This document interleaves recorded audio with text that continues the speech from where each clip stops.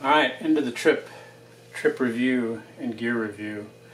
I wanted to do a little follow-up to uh, the trip and talk about the gear, some of which worked out, and how well it worked out, some of which uh, I probably wouldn't use again.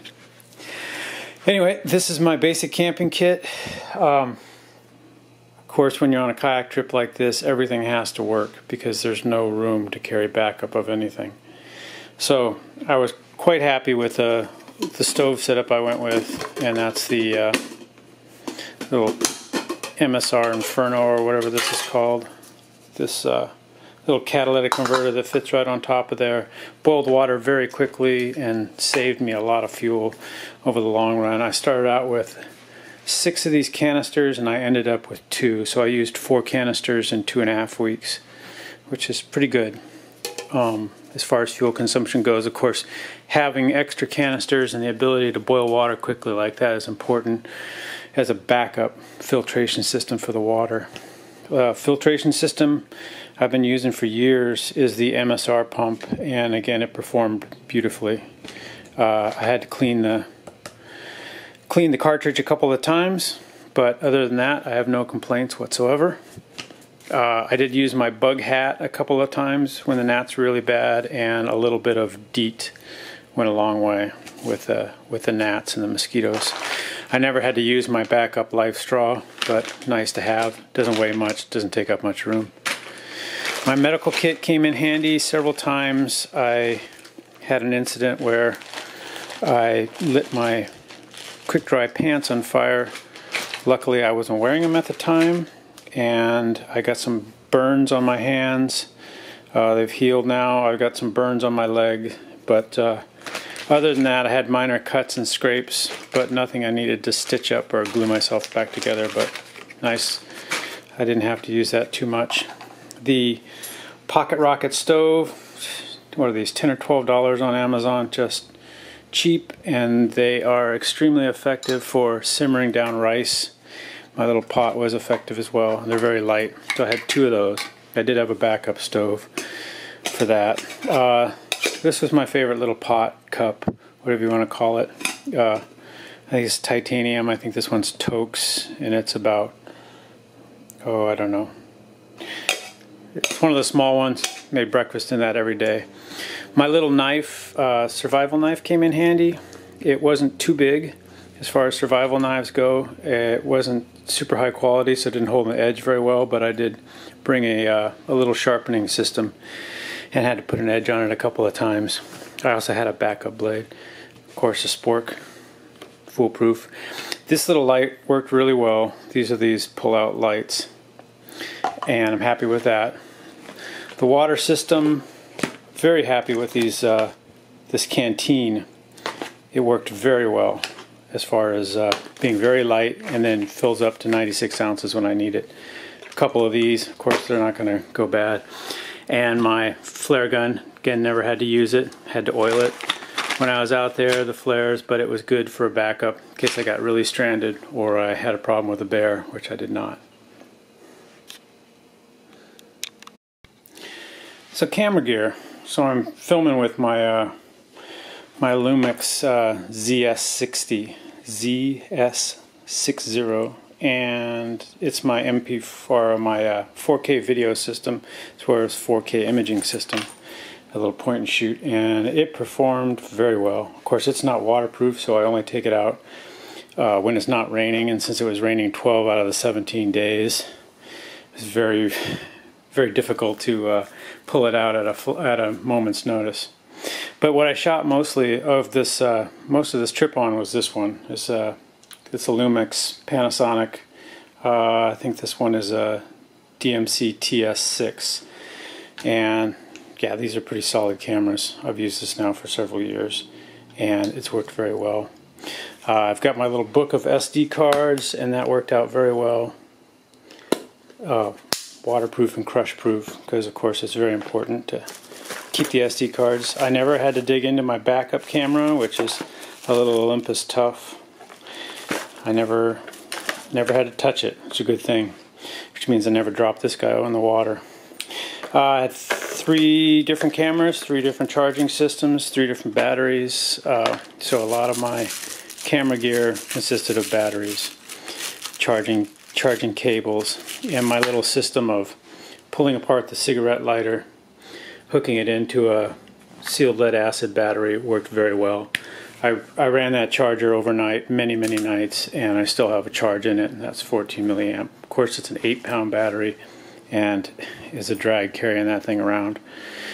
But everything's sealed up in little waterproof Pelican cases or in these boxes, and then sealed inside of a dry bag if possible. With the exception of the sealed lead acid, which can sit in the bottom of the hole and get damp if it wants. Uh, overall, camera gear worked really well. I'm really happy so far with the quality of video I have off of things, and uh, I hope they that shows in the final product. Day 17, and this is the food that I have left. I started out with 35 pounds of food, and I end with about perhaps two and a half, three pounds of food. I might have been able to stretch it a few more days with some rationing, but I did not. Um, I've got some carbohydrates left. I've got one, two packs, three packs of rice, and one pack of quinoa. That's probably the bulk of my weight. It's probably about two pounds, pound and a half anyway. Uh, a few ounces of coffee left, two packs. Some of my uh, freeze-dried vegetables or my dried out vegetables that I sealed up. Uh, little protein supplies or steak strips.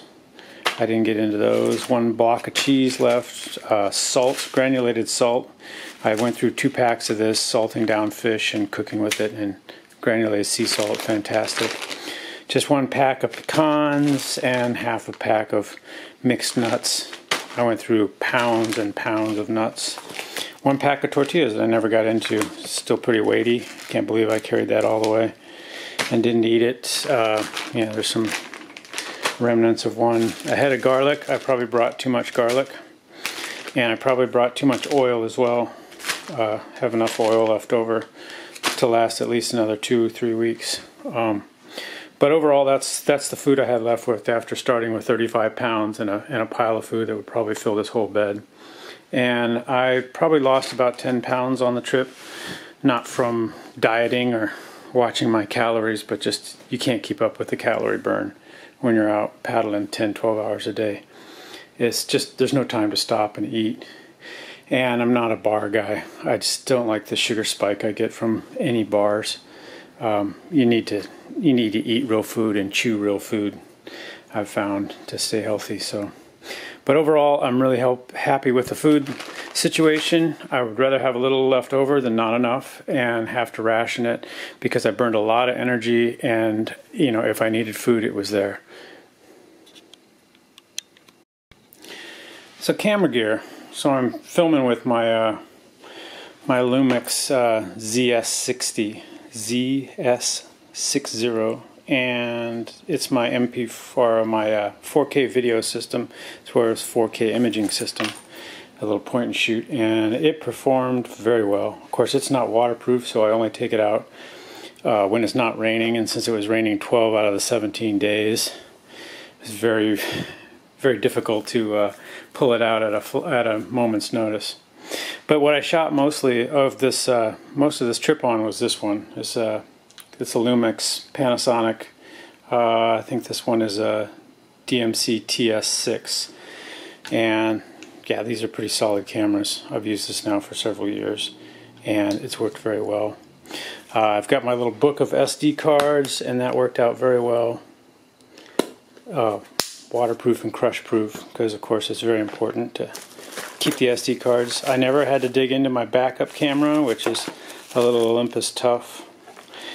I never never had to touch it. It's a good thing which means I never dropped this guy in the water. Uh, I had three different cameras, three different charging systems, three different batteries. Uh, so a lot of my camera gear consisted of batteries, charging charging cables and my little system of pulling apart the cigarette lighter, hooking it into a sealed lead acid battery worked very well. I, I ran that charger overnight many, many nights, and I still have a charge in it, and that's 14 milliamp. Of course, it's an 8 pound battery, and is a drag carrying that thing around. But everything's sealed up in little waterproof Pelican cases or in these boxes and then sealed inside of a dry bag if possible. Well, with the exception of the sealed lead acid, which can sit in the bottom of the hole and get damp if it wants. Uh, overall, camera gear worked really well. I'm really happy so far with the quality of video I have off of things, and uh, I hope they that shows in the final product. Day 17, and this is the food that I have left. I started out with 35 pounds of food, and I end with about perhaps two and a half, three pounds of food. I might have been able to stretch it a few more days with some rationing, but I did not. Um, I've got some carbohydrates left. I've got one, two packs, three packs of rice, and one pack of quinoa. That's probably the bulk of my weight. It's probably about two pounds, pound and a half anyway. Uh, a few ounces of coffee left, two packs. Some of my uh, freeze-dried vegetables or my dried out vegetables that I sealed up. Uh, little protein supplies or steak strips. I didn't get into those. One block of cheese left. Uh, salt, granulated salt. I went through two packs of this, salting down fish and cooking with it, and granulated sea salt, fantastic. Just one pack of pecans and half a pack of mixed nuts. I went through pounds and pounds of nuts. One pack of tortillas that I never got into. Still pretty weighty. Can't believe I carried that all the way and didn't eat it. Uh, yeah, there's some remnants of one. A head of garlic. I probably brought too much garlic. And I probably brought too much oil as well. Uh, have enough oil left over to last at least another two, three weeks. Um, but overall, that's that's the food I had left with after starting with 35 pounds and a, and a pile of food that would probably fill this whole bed. And I probably lost about 10 pounds on the trip, not from dieting or watching my calories, but just you can't keep up with the calorie burn when you're out paddling 10, 12 hours a day. It's just, there's no time to stop and eat. And I'm not a bar guy. I just don't like the sugar spike I get from any bars. Um, you need to you need to eat real food and chew real food. I've found to stay healthy. So, but overall, I'm really help, happy with the food situation. I would rather have a little left over than not enough and have to ration it because I burned a lot of energy. And you know, if I needed food, it was there.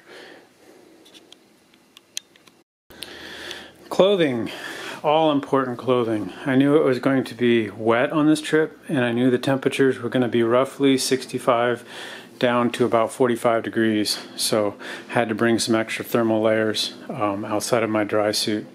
But most of the time, my temperatures were down in the low 50s um, on average for a daytime temperature, uh, with cool nights down into the low 40s.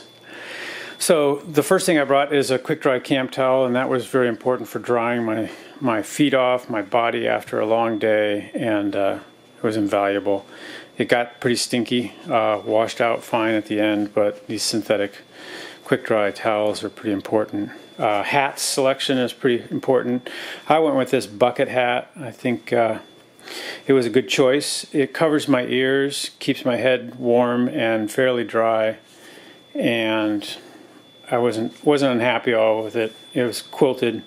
It's a good winter hat, so wasn't disappointed. I brought a little ski hat. This is made by my friend Peter Muller, and uh, I'll show you another piece of his clothing. But he uses really nice quality fabric, sews it himself. Had these for years. They weigh absolutely nothing, and they are extremely warm. So. Uh, a little sun hat, which I got the chance to use, I think, exactly once. Wasn't much sun and I was using the Kokatat, uh, what do they call this? The uh, silk underwear, or the wool core they call it. So it's got merino wool in it. And if I go back to get more clothing on another expedition, it will have to be something with merino wool because I wore this day after day and it didn't get appreciably very stinky. As opposed to something like this, which comes from a big box store. Um, labeled as, you know, semi-synthetic or synthetic um, thermals. Uh, they cost 50, 60 bucks, and they are junk. They get damp, they get wet, they get just unusual, unbearably stinky. and uh, I couldn't wash it out in the field. Plus, uh, when I was drying it, it got near. Actually, I was wearing it, and I I got hit by some uh, sparks, and I burned a big hole in it, and burned into my leg. So, it's uh, I probably will never buy these again. Um, this synthetic shirt uh, I think these are pretty common, this material. I don't know who, what brand it is, but uh, real lightweight, doesn't offer much insulation. And uh, that was good as an over another layer in there. This was the uh, thermal top that I brought, and again, it's pretty light. It's made by my friend Peter he sells mostly at uh, farmers markets and stuff. He's not a big producer, but he he knows his stuff. He knows how to stitch clothes together. I've had this for years, and it's still just the same product it was when I bought it from him. Uh, not cheap, but he puts hand labor into it. Uh, nice little cuffs. Just sit there and uh, I ski in this. I kayak in it, and that was my main thermal. The jacket I bought from the big box warehouse. This is uh, with kind of a mid-range, lightweight rain jacket, and it performed very well. I liked it. It packed down and had a hood. It would, in a light drizzly rain, it, it kept me just fine. So, and a couple pairs of socks. The socks were a Thermax material, again from the big box store, and some wool. Uh, wasn't that impressed with the Thermax. It left my feet very wet most of the time. Um, obviously, these are just kind of under socks. I should have layered it up with something heavier, but I didn't. Um, I would probably go back to a, more of a wool, natural products, and less synthetic like this Thermax stuff next time, because I had feet problems from too much water. But overall, that was my my clothes, except for the t-shirt shorts that I'm wearing right now, and overall, I was fairly happy with the with the uh, selection I made. Uh, I'd probably change a few more things. Definitely would look for merino wool um, in my products because anything else that just says uh, almost as good as wool is not as good as wool. So sleeping sleeping wise, I went with a two inch thick, 72 inch by 20 inch wide inflatable pad again from the big box store. Uh, I love the modification with the little buttons on it, keeps you from sliding off. Uh, there's times I would have liked the 25 inch wide one, but that was a little more than I needed to carry. Definitely the full length made a big difference. Sleeping on the ground every night. The bag that I went with this time was a, a lighter one. Um, I have a lot of bags, uh, big name bags, and I but I went with this company. Um, they're not sponsoring me or anything, but shout out to them. They make a good product, Outdoor Vital, and they do a direct to consumer, so their prices are really low. I think I picked up this bag for about 130 bucks, and it performed very well. very happy with it.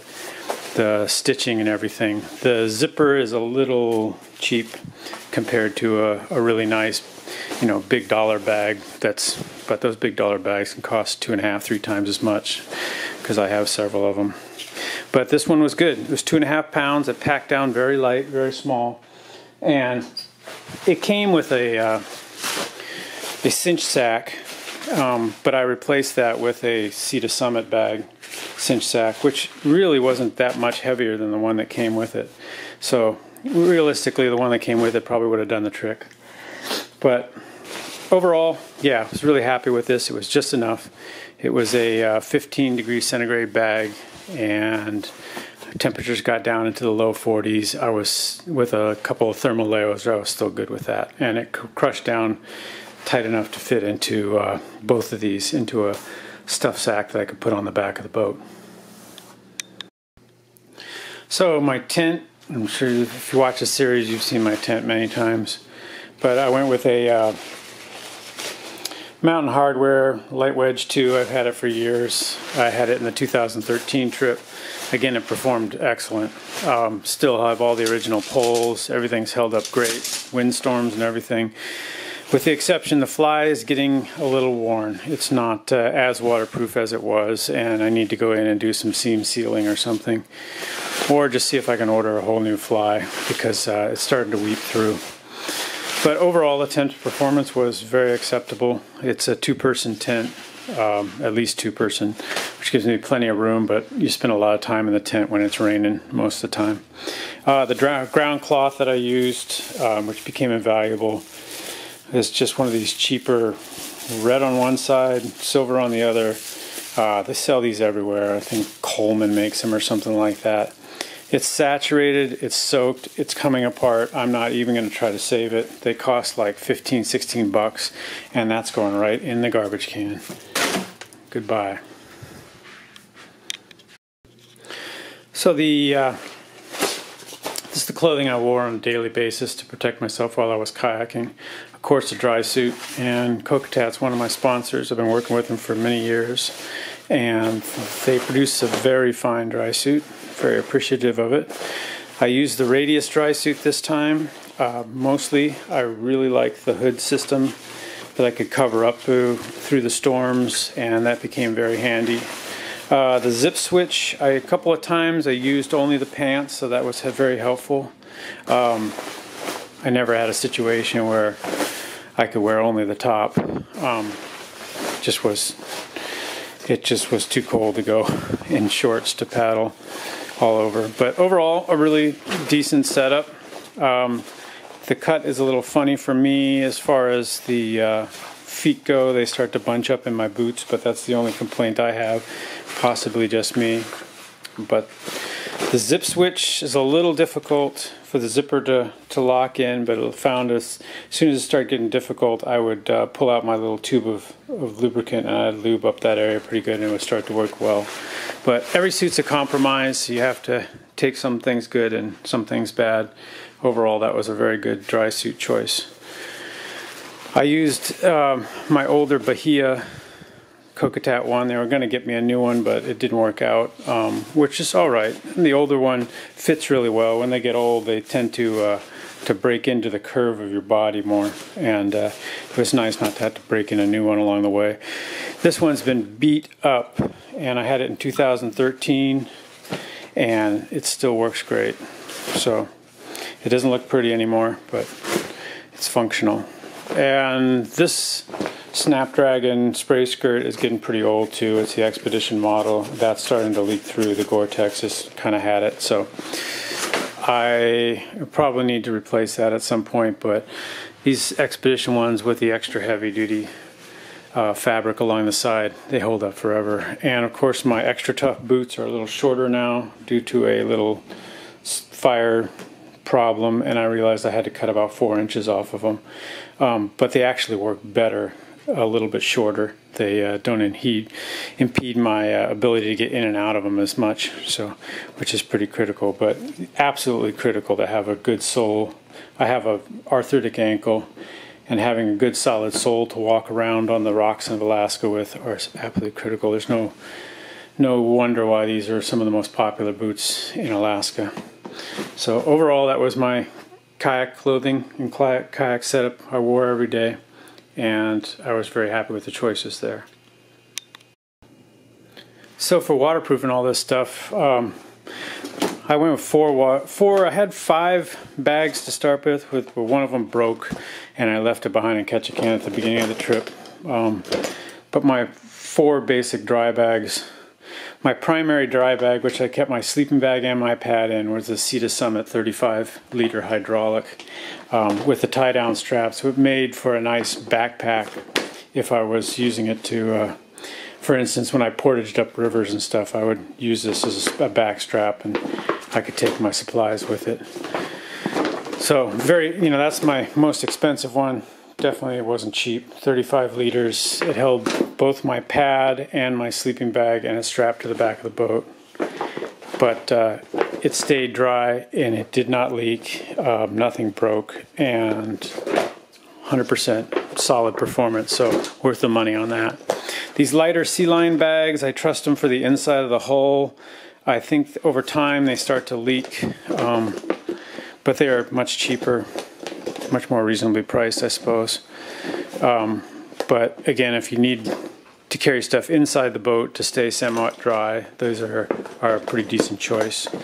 And I had a 10 liter, a 20 liter, And then I had an older uh, Hydro Venture Seattle Sports one that I would use. Primarily, what I'd use this for is transporting gear. So I wouldn't really leave anything in there, but if I needed to take all small things out of the boat, I'd throw them in there and then I could carry them all at once in a larger tote.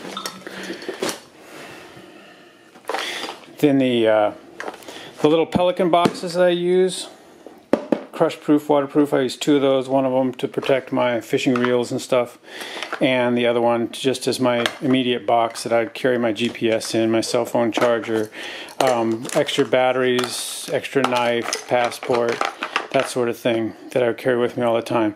These worked very well. This one's getting old and the O-ring's starting to go on it, so it's starting to leak a little bit, but overall, love these things. They uh, are great for carrying in the cockpit with you.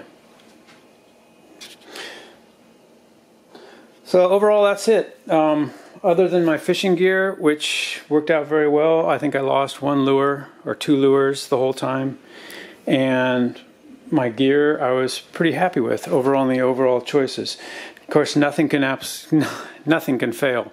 You know, um, I bring three stoves, and that's probably the most important thing is to have a stove to be able to cook your food because you can't live off of uncooked rice if uh, your stoves go down. It's going to be very, very difficult to uh, survive like that. So I had plenty of fuel, I had good stoves, I had good warmth, I had good sleeping products, and uh, I survived. I had enough food, not a huge amount of extra food and not a wide variety, but I had enough. So overall, that's my gear review. And thanks very much for watching.